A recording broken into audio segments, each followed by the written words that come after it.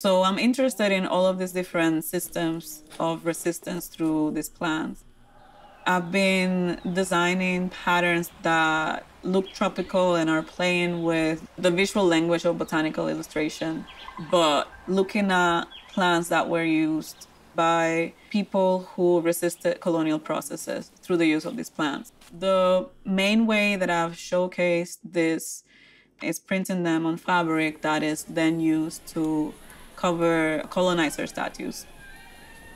I'm thinking of a way to re-signify that public space that is used to commemorate uh, colonial history and instead trying to commemorate the people who resisted colonialism who don't have a statue.